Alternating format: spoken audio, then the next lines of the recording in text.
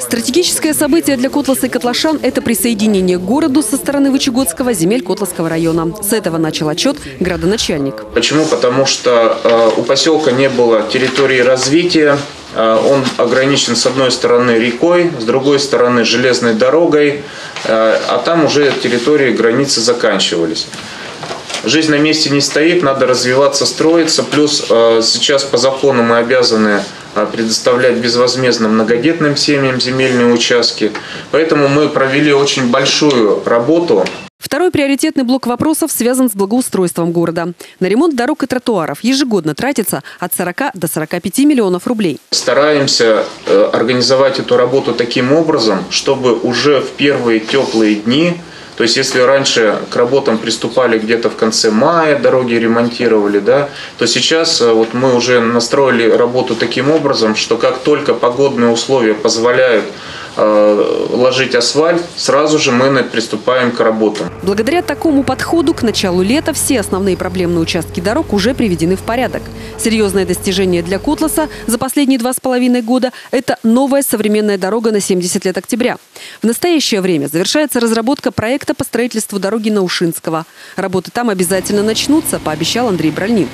Также последовательно, хотя и не в том объеме, в котором хотелось бы, администрация организует ремонты дворов. К сожалению, средств на это не так много выделяется, но сейчас мы наблюдаем такую тенденцию, что уже сами жители э, домов выходят с предложением о том, что мы готовы обеспечить софинансирование, и мы, конечно же, стараемся идти навстречу таким инициативным э, жителям и выделяем денежки из э, местного бюджета. Меняется облик города к лучшему благодаря установке современных автобусных павильонов, урн и скамеек. Кстати, ставить скамейки стали после полученного три года назад предложения от ветеранов. Поначалу, честно говоря, даже опасения были, что там сломают, там разукрасят и так далее. Но, вы знаете, вот все-таки как-то культура стала меняться скамейки стоят, вроде больших жалоб нет, что там кто-то шумит по ночам на них. Второй год администрация реализует новый проект по благоустройству под говорящим названием «Цветущий город».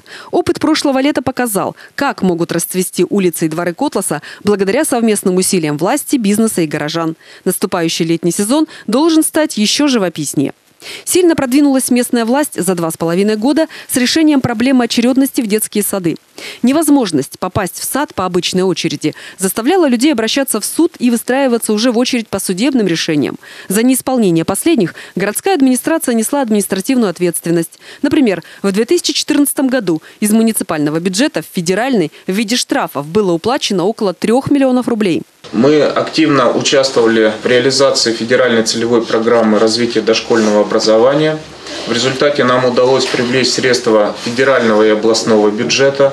И э, в 2014 году была закончена реконструкция, и мы ввели в нашем существующем здании на 80 мест в поселке Вычегодский детский сад – прошлом году к 1 сентября мы запустили вот этот впервые за последние 25 лет в нашем городе новый с нуля детский сад на улице Портовиков. Третье дошкольное учреждение было открыто в кратчайшие сроки к 1 апреля 2016 года на месте бывшего дома ребенка. Таким образом, дети трех лет и старше теперь полностью организованы. Сейчас мы приближаемся к двухлетнему возрасту, отметил Андрей Бральнин. Огромное внимание власти уделяет созданию условий для развития спорта. С 2014-го ежегодно выделяются средства на реконструкцию пришкольных стадионов. В среднем по миллиону рублей мы выделяем а, для того, чтобы привести нашу спортивную базу в порядок. И вы знаете, эффект очень большой, потому что, а, во-первых, школы, они расположены во всех микрорайонах, помимо самих детей, которые учатся в этих школах, на эти стадионы еще приходят и жители прилегающих территорий.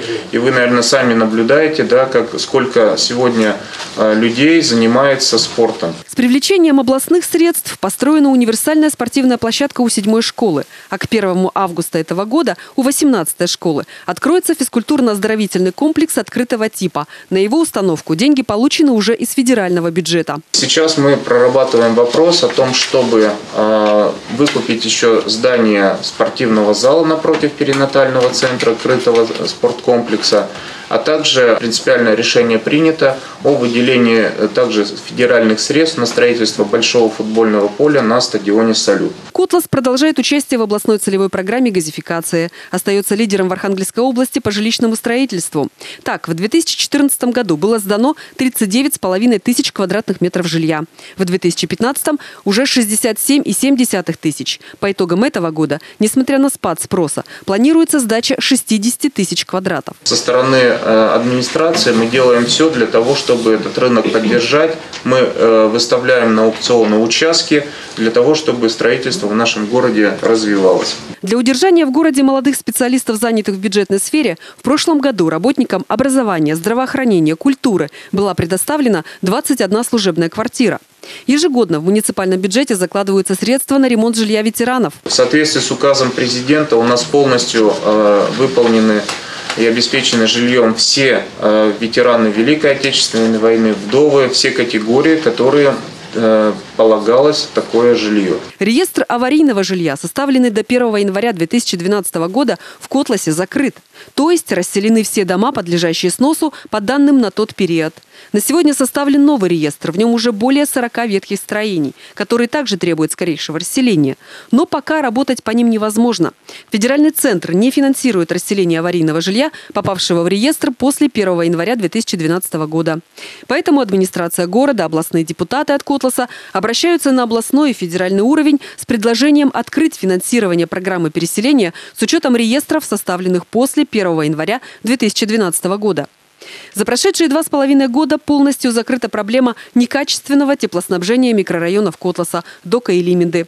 На Доке частный инвестор Андрей Палкин построил новую котельную. Она обеспечивает бесперебойное отопление жилого сектора и социальных объектов. В Лимиде прошлым летом силами муниципального предприятия ОКТС был реализован глобальный проект по замене теплосетей и переключению потребителей на муниципальную котельную. Прошедшая зима показала, что тепло и горячая вода в дома лименцев теперь стабильно поступают. В завершении отчета Андрей Бральнин поблагодарил ветеранов за активную позицию и помощь в реализации совместного проекта по установке в Котласе памятника детям войны и труженикам тыла. Именно благодаря вашей инициативе, настойчивости мы вместе построили э, монумент детям войны и труженикам тыла. Это вообще дорогого стоит.